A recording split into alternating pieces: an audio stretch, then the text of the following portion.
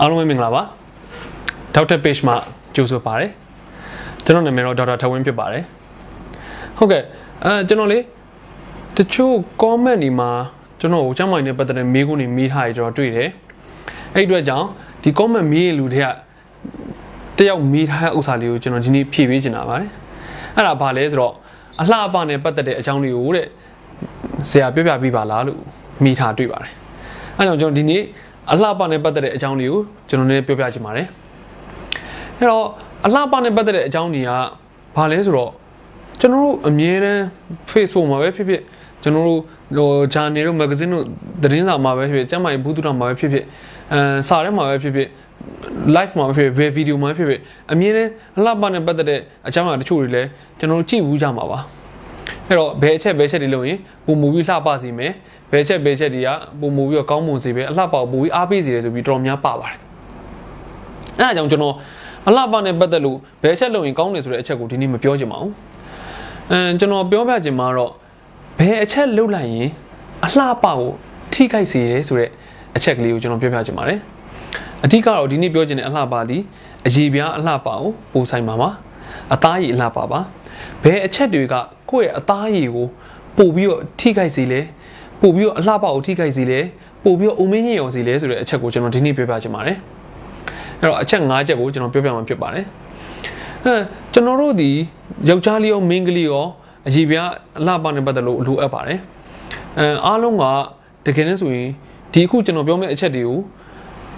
မတိလိုက်မတိမတာပဲနဲ့ ကျူးလို့မိနေပြီးတော့အလှပကိုကျွန်တော်ထိခိုက်စေတဲ့အချက်တွေဖြစ်နေတာပါကျွန်တော်ဒီနေ့ပြောမယ့်အချက်က၅ချက်ပါအလှပကိုထိခိုက်စေတတ်တော့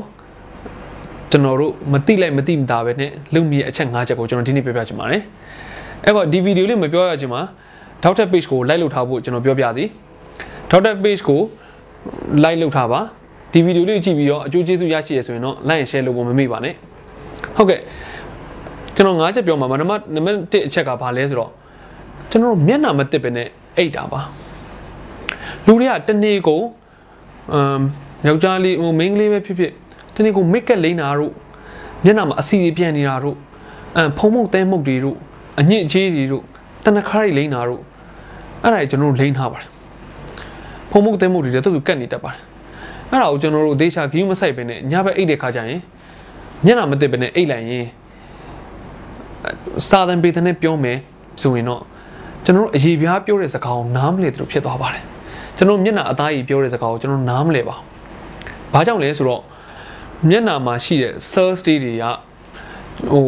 ဖုံမှုတ်တဲမှုတ်တို့ဘာဖုံမှုတ်တဲမှုတ်တို့အညစ်အကြေးတို့ make up တို့ကျွန်တော်တို့ cells တွေမှာသွားပိတ်နေတယ်ဒါမှမဟုတ် cells တွေကသွားပြီးကတ်နေတယ်ဆိုရင်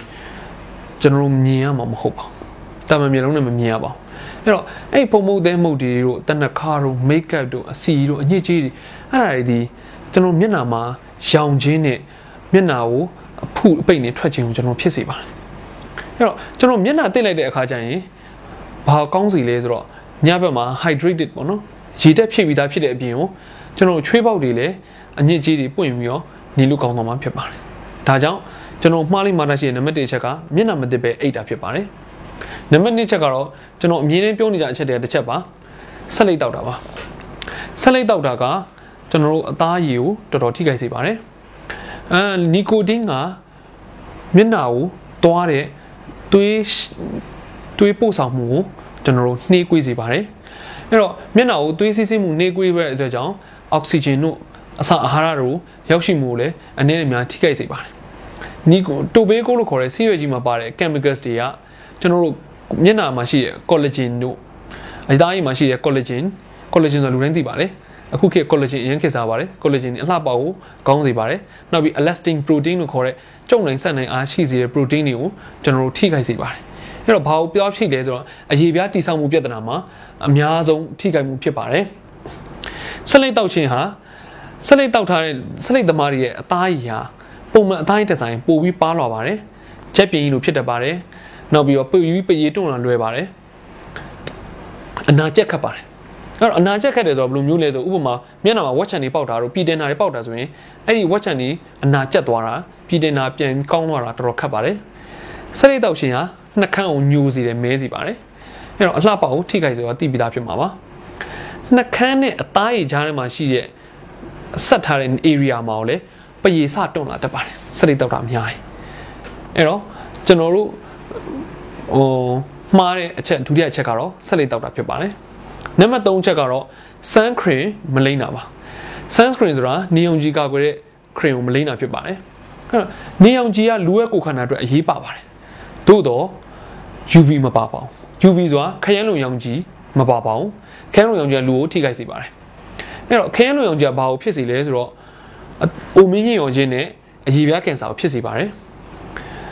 အိုမင်းရောင်ခြင်းနဲ့အရေပြားကင်ဆာကိုဖြစ်စေတယ်။ကျွန်တော်တို့ဒီခရမ်းလုံရောင်ကြီးကိုဘယ်အချိန်မှကာကွယ်လဲ။ကန်းကြည်သွားတဲ့အချိန်ကျမှ sun cream ကိုလိမ့်ကြပါတယ်။အမှန်တော့မဟုတ်ပါဘူး။နေထိနေတဲ့နေရာတွေမှာကျွန်တော်တို့လိမ့်ဖို့လိုအပ်ပါတယ်။ခရမ်းလုံရောင်ကြီးကို UVA, UVB ဆိုပြီးတော့ A နဲ့ B နဲ့နှစ်မျိုးခွဲခြားထားပါတယ်။ UVA နဲ့ UVB ကို UVB နှစ်ခုလုံးကနှစ်ခုလုံးကာကွယ်နိုင်တဲ့ SPF တခုလိမ့်မှုလိုအပ်ပါတယ်အခြေခံအဖြစ် SPF 30ပါတဲ့အနိုင်ဆုံး30ပါတဲ့ ဟိုလို့ရှိရင်ဟို sunscreen ကိုလိမ့်သင့်ပါတယ်အမ်စာစာတဲ့မှတ်တမ်းတွေအရာတော့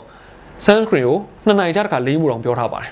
အဲ့တော့မျက်နှာကို sunscreen လိမ့်မယ်ဆိုရင်တော့ဘယ်လိုလိမ့်ရမလဲဆိုတော့1 teaspoon ပေါ့နော်ဟိုလက်ဖက်ရည်စွန်းတစွန်းစာလောက်ကိုမျက်နှာလိမ့်မယ်တချို့စာတွေမှာဆိုရင်ဘယ်လောက်ထိပါလဲဆိုရင် headlines ပေါ့သပင်ဥယျာဉ်ချားတဲ့ထိလိမ့်ခိုင်းတယ်နှာခေါင်းတို့မီးစီတို့ထိကိုတေချာလိမ့်ခိုင်းပါတယ်ဒါပေမဲ့ဒီကိစ္စကတော့အရန်အရေးပြားကိုအရန်ထိမ့်သိမ်းနေတဲ့လူအတွက်တော့ဒါအရေးပါပါတယ် ကျွန်တော်လည်းလုတ်ဖြစ်တဲ့ထဲမှာမပါပါဘူးဘယ်သူမှလုတ်ဖြစ်လို့လည်းမလွယ်ပါဘူးဒါပေမဲ့ sunscreen မလိမ့်တာလေကျွန်တော်မှားတဲ့တတိယအချက်တွေမှာပါလို့ပါစတုဒ္ဒအချက်ကကြတော့ဘာလဲဆိုတော့ကျွန်တော်ဒီတကြားစားတာများပြီးတော့တစ်သီးဝလံ vegetable အသီးရွက်စားတာနေတာဖြစ်ပါတယ်အဲ့တော့ကျွန်တော်မြန်မာလူမျိုးကထမင်းရမ်းကြိုက်ပါတယ်အစာရမ်းစားပါတယ်အဲ့တော့သမင်းတို့အစာတို့အများကြီးစားတဲ့ခါကျရင် sugar level တက်သွားပါတယ်။တကြားက aging ကိုအားပေးပါတယ်။ ဥမင်းယုံခြင်းကိုအားပေးပါတယ်။အချို့တက်ကဥမင်းယုံခြင်းကိုအားပေးပါတယ်။အဲ့တော့အသားရည်ကကြိုက်တဲ့ပစ္စည်းတွေမှာတကြားမပါပါဘူး။အသားရည်ကြိုက်တဲ့ပစ္စည်းတွေကဘာလဲဆိုတော့အသီးရွက်တို့တစ်သီးဝလံတို့နောက်တစ်ခုကအစိအစံတွေဖြစ်ပါတယ်။အဲ့အစိအစံတွေကိုအသားရည်ပူကြိုက်ပါတယ်။လေးလာတွေ့ရှိချက်အရာတစ်သီး vegetables လို့ခေါ်တဲ့အသီးရွက်တို့ fruit လို့ခေါ်တဲ့တတိဝလန်တို့ grains တို့အစိအစံတွေစားတဲ့လူတွေဟာဘာဖြစ်စီလဲဆိုတော့အကြီးပြား အိုမင်းယုံခြင်းကိုထိမ့်သိမ့်ပေးပါတယ်အဲ့တော့အိုမင်းယုံခြင်းကိုထိမ့်သိမ့်ပေးပြီးတော့ဘာတွေထွက်စီလဲဆိုတော့ antioxidant vitamin A တို့ C တို့ E တို့ကျွဲဩစွာပါဝင်တဲ့အတွက်ကြောင့်ကိုယ်ခန္ဓာမှာရှိတဲ့အသားရည်ကိုပြန်ပြီးတော့ပြုပြင်ပေးပါတယ်အဲ့ဒီအတွက်ကြောင့်ကျွန်တော်တို့ဒီတရားစားများခြင်းနဲ့အသီးရွက်စားနေခြင်းဟာကျွန်တော်တို့မှားတတ်တဲ့နံပါတ်၄ချက်ဖြစ်ပါတယ်နံပါတ်၅ချက်ကတော့လူငယ်အမြဲမှားတတ်တဲ့အချက်ပါအဲ့ဒါပါကျွန်တော်ဝက်ချံကိုညှစ်တာပါ ကျွန်တော်ဝက်ချံလေးတိတ်တိတ်လေးစပေါက်တာဖြစ်ဖြစ်ပြည်လေးလိုအဖုလေးစဖြစ်တာပဲဖြစ်ဖြစ်ကျွန်တော်လက်တွေကမထိန်နိုင်တော့ပါဘူးဟာဒီဝက်ချံရှိနေမှန်ခဏခဏသွားကြည့်တယ်ငါဒီဝက်ချံလေးဘယ်လိုလဲငါတရားရှိနေနေလို့မကောင်းတော့ဘူးငါဒီမလှတော့ဘူးဆိုပြီးတော့ကိုယ့်ဘောက်ကိုတခါကျရင်တင်ငင်လာတယ်ကိုယ့်ကိုလက်ကလည်းမထိန်နိုင်အဲ့ဒီအတွက်ကြောင့်ဝက်ချံကို prop ဆိုပြီးညှစ်ချလိုက်တယ်ဝက်ချံညှစ်လိုက်မှပဲစိတ်ကပေါ့သွားတယ်အော်ငါဒီဝက်ချံအဆန်လေးထွက်သွားပြီဘာညာဆိုပြီးစိတ်ကပေါ်သွားတယ်ပါတယ်အဲ့ဒါဒီလူငယ်တွေမှားတတ်တဲ့အချက်နောက်တစ်ချက်ဖြစ်ပါတယ် ဝက်ချံကိုညှစ်လိုက်ခြင်းအပြင်ဘာဆိုးကျိုးဖြစ်စေလဲဆိုတော့ scars လို့ခေါ်တဲ့ကျွန်တော်တို့အမာရွတ်တွေဖြစ်စေတယ်ပိုးတွေဝင်စေပါတယ်ဒါကြောင့်ဝက်ချံလေးစပေါက်တာနဲ့ကိုယ့်လက်ကိုစညှစ်မဲ့ဆိုတဲ့လက်ရဲ့လှုပ်ရှားမှုထိမ့်သိမ့်မှုလိုအပ်ပါတယ်အဲ့တော့ဒီ၅ချက်ပါကျွန်တော်ပြန်ပြောမယ်နော်နံပါတ်1ကမျက်နှာမတစ်ပဲနဲ့အိတ်တာနံပါတ်2ကဆက်လိတ်တောက်တာနံပါတ်3ကအဲ sunscreen မလိမ့်တာနံပါတ်4ကကြတော့တကြားအများကြီးစားပြီးတော့အသီးရွက်မစားတာ နံပါတ်5ကျတော့ဝက်ချန်ညှစ်တာဖြစ်ပါတယ်အဲ့တော့ကျွန်တော်ကအခုဗီဒီယိုကအလှပနဲ့ပတ်သက်လို့ပြောချင်းဆိုဒီမှာကျွန်တော်ကို comment မှာတယောက်ကလာပြီးတော့အလှပနဲ့ပတ်သက်လို့ပြောပြရင်ကောင်းပါလားဆိုတဲ့ပုံစံနဲ့ကျွန်တော်လာမိလို့ကျွန်တော်ဖြေလိုက်တာဖြစ်ပါတယ်အဲ့တော့ကျွန်တော်နောက်ပိုင်းစဉ်းစားတာတခုရှိပါတယ်ကျွန်တော်ဒီ Dr. Page မှာကျွန်တော်ပြောမယ့်အစားအခုမေးချင်တဲ့ကျမ်းမိုင်နဲ့ပတ်သက်တဲ့မေးခွန်းတွေကို မေးပြီးမှကျွန်တော်ပြန်ဖြေတဲ့ခါကျရင်နောက်ထောင်တွေလည်းပို့ပြီးတော့ထိအောင်မယ်လို့ကျွန်တော်တွေးမိပါတယ်ကျွန်တော်လည်းပြောမဲ့အချက်တွေလည်းရှိမှာပါသို့တော့အဲ့လိုမျိုး live လေးတစ်ခုလုပ်ရင်ကောင်းမလားလို့ကျွန်တော်စဉ်းစားမိပါတယ်အဲ့အတွက်ကြောင့်ကျွန်တော်ဒီအခုလာမဲ့21ရက်နေ့ညနေ8နာရီမှာကျမ်းမိုင်နဲ့ပတ်သက်တဲ့အကြောင်းအရာကို live လွှင့်ခြင်းပါတယ်ကျွန်တော်ရဲ့ပထမဆုံး live လည်းဖြစ်မှာပါအခုကျွန်တော်ဗီဒီယိုတွေကိုနားထောင်တဲ့လူတွေနဲ့ဓာတ်ရိုက်စကားပြောချင်ပါတယ် အဲ့တော့ကျွန်တော်ကိုအဲ့ကျမ်းမိုင်နဲ့ပတ်သက်တဲ့မေးခွန်းတွေကိုမေးချင်နေဆိုရင်တော့အခုဗီဒီယိုရဲ့ comment မှာမေးခြင်းနဲ့ကျမ်းမာရေးနဲ့ပတ်သက်တဲ့အကြောင်းအရာများကို comment ရေးပြီးတော့မေးနိုင်ပါတယ်အဲ့ထဲကကျွန်တော်တင့်လျော်တဲ့ဟာလေးကိုကျွန်တော်ရွေးပြီးတော့ကျွန်တော်ဖြည့်ချသွားမှာဖြစ်ပါတယ်ကျွန်တော် live ကြရင်စနေနေ့21ရက်နေ့ညနေ8နာရီပါဟုတ်ကဲ့အဲ့တော့တခြားတငယ်ချင်းတွေလည်းဟိုကိုယ်တငယ်ချင်းတွေကျမ်းမာရေးနဲ့ပတ်သက်လို့အဲမေးခြင်းတွေလူများရှိတယ် လို့ထင်တယ်ဒါမှမဟုတ်တခြားတငယ်ချင်းတွေဒီအခုကျွန်တော်စကားပြောနေတဲ့လက်ရှိပြောနေတဲ့ဗီဒီယိုလေးကိုကြည့်စေချင်တယ်ဆိုရင်တော့ mention လေးခေါ်ပြီးတော့ share လုပ်စေချင်ပါတယ်အဲ့ဒါမှအဲ့ live ကြရင်လူတွေများများစကားပြောနိုင်မှာဖြစ်ပါတယ်ဟုတ်ကဲ့ပါအားလုံးကျမ်းမာချမ်းသာပါစေအားလုံးကျေးဇူးတင်ပါတယ်